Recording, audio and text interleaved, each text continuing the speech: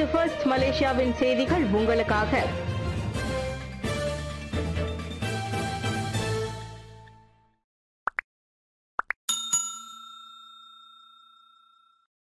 நாகேந்திரனின் உடல் நேற்றிரவு மணி பதினொன்றுக்கு ஈப்போவிற்கு கொண்டு வரப்பட்டது சிங்கப்பூர் சாங்கி சிறைச்சாலையில் மரண தண்டனை நிறைவேற்றப்பட்ட நாகேந்திரனின் உடல் நேற்று இரவு மணி பதினொன்றுக்கு அவரது சொந்த ஊரான ஈப்போவில் உள்ள தஞ்சூன் ரம்புதான் பகுதிக்கு கொண்டு வரப்பட்டது.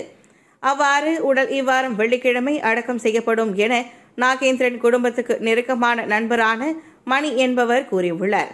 மறைந்த நாகேந்திரனின் இல்லத்தில் அவரது குடும்ப உறுப்பினர்கள் கூடியுள்ளனர்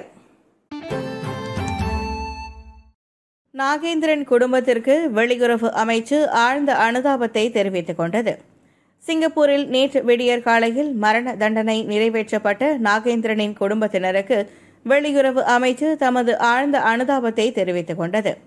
இரண்டாயிரத்தி ஒன்பது ஏப்ரல் இருபத்தி இரண்டாம் தேதி சிங்கப்பூரில் நாகேந்திரன் கைது செய்யப்பட்டதில் இருந்து வெளியுறவு அமைச்சு சிங்கப்பூரில் உள்ள மலேசிய உயர் ஆணையத்தின் மூலம் அவரது வழக்கை அணுக்கமாக கண்காணித்து வந்தது. சிறையில் இருந்தபோது நாகேந்திரனுக்கு தூதரகத்தின் உதவிகள் செய்யப்பட்டன என அவ்வமைச்சு ஓர் அறிக்கையின் வாயிலாக தெரிவித்தது. மேலும் அனைத்துலக கைதிகள் பரிமாற்ற திட்டத்தின் கீழ் நாகேந்திரனை மலேசியாவிற்கு கொண்டு வருவதற்கு வெளியுறவு அமைச்சு மீண்டும் ஒருமுறை சிங்கப்பூர் அரசாங்கத்திற்கு கடிதம் எழுதியிருந்ததையும் அவ்வமைச்சு குறிப்பிட்டது.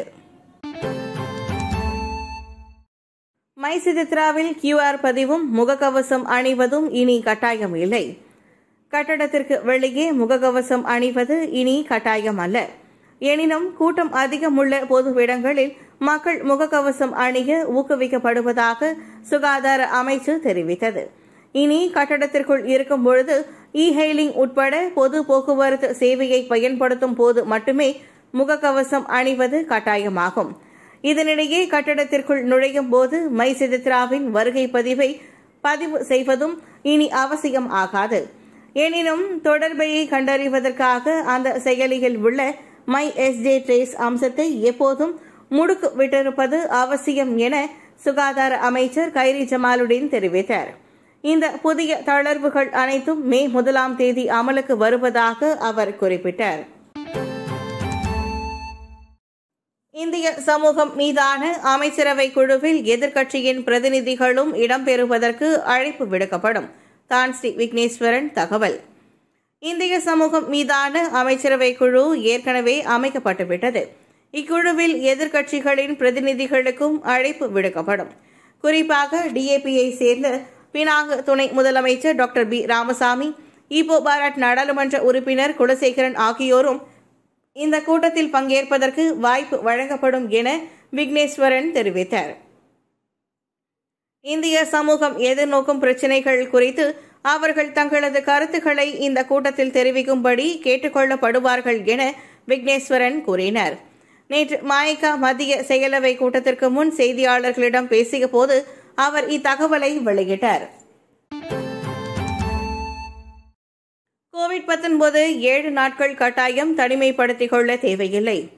கோவிட் தொற்று கண்டிருந்தால் ஒருவர் கட்டாயம் ஏழு நாட்களுக்கு தங்களை தனிமைப்படுத்திக் கொள்ள வேண்டியதில்லை. நான்காவது நாளன்று சுகாதார அதிகாரிகள் மேற்கொள்ளும் ஆர்டிகே கோவிட் பரிசோதனையில் தொற்று இல்லாதது உறுதி செய்யப்பட்டால் அவர்கள் தொடர்ந்து தங்களை தனிமைப்படுத்திக் கொள்ள தேவையில்லை என சுகாதார அமைச்சர் கைரி ஜமாலுடன் தெரிவித்தார். மலேசியா தென்கொரிய பாதுகாப்பு துறையில் முதன்முறையாக ஒத்துழைப்பு. நேற்று கையெழுத்திடப்பட்ட புரிந்துணர்வு ஒப்பந்தத்தின் மூலம் மலேசியாவும் தென்கொரியாவும் முதன்முறையாக பாதுகாப்பு துறையில் ஒத்துழைப்பை உருவாக்கி வரலாறு படைத்தன. தென்கொரிய தற்காப்பு அமைச்சர் சு உக்குடன் நடைபெற்ற இயங்கலை சந்திப்பின் மூலம் இந்த ஒத்துழைப்பு எட்டப்பட்டதாக தற்காப்பு அமைச்சர் டத்தஸ்ரீ ஹிஷாமுடின் ஹுசைன் தெரிவித்தார்.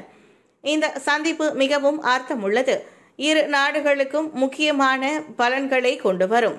குறிப்பாக பாதுகாப்பு துறையில் இரு நாடுகளுக்கும் ஒத்துழைப்பு அதிகரிக்கும் என்று ஹிஷாமுடின் கூறினார். மேலும் கொரிய படைகளுடனான மலேசிய ஆயுத படைகளின் தொடர்பு திட்டங்கள் மற்றும் செயல்பாடுகளுக்கு இது முக்கிய ஆவணமாக இருக்கும் என ஹிஷாமுடின் கூறினார். ஒலிபெருக்கியில் அசான் தொழுகை அறிவிப்புக்கு தடையா? போலீஸ் விசாரணை. ஒலிபெருக்கியின் மூலம் அசான் தொழுகைக்கான அறிவிப்பை செய்ய தடை விதிக்கப்பட்டுள்ளதாக வைரலாக இருக்கும் தகவல் மலேசியாவில் வெளியிடப்பட்டது அல்ல. அத்தகையதொரு அறிவிப்பு இந்தியா புனேவில் செய்யப்பட்டது என புக்கித் அமான் குற்றப்புலனாய்வு துறையின் இயக்குநர் doctor Sri Abdul Jalil Hassan தெரிவித்தார். மகாராஷ்டிரா நவ்நிர்மன் சேனா கட்சியின் தலைவர் ராஜ் தாக்கரே என்பவர் இந்த அறிவிப்பை செய்துள்ளார். அதனை ஏப்ரல் பதினேழாம் தேதி த நியூ இந்தியன் எக்ஸ்பிரஸ் ஊடகம் செய்தியாக வெளியிட்டிருந்தது.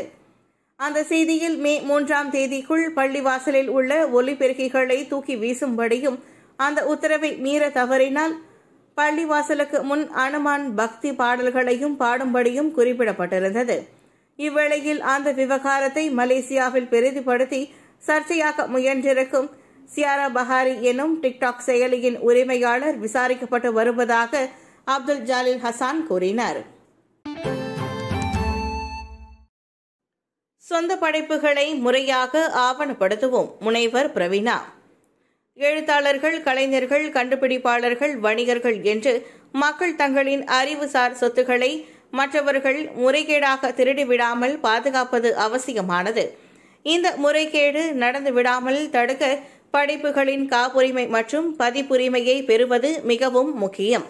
எனவே இசை ஒளிப்பதிவு இலக்கியம் திரைப்படம் புத்தாக்கம் என்று அனைத்துவித படைப்பாளிகளும் தங்களின் சொந்த படைப்புகளை முறையாக பதிவு செய்வது குறித்த விழிப்புணர்வு அவசியம் என்கிறார் புத்ரா பல்கலைக்கழக சுற்றுச்சூழல் மற்றும் தொழில்சார் சுகாதாரத்துறையின் மருத்துவ மற்றும் சுகாதார அறிவியல் புல இணை பேராசிரியர் முனைவர் சர்வமங்கள பிரவீனா உலகம் தொழில்நுட்ப மையத்தை நோக்கி செயல்பட்டு வரும் வேளையில் அதிகமான இளைஞர்கள் அதன் தொடர்பான புத்தாக்க மற்றும் கண்டுபிடிப்பு துறையில் ஈடுபட்டு வருகின்றனர்.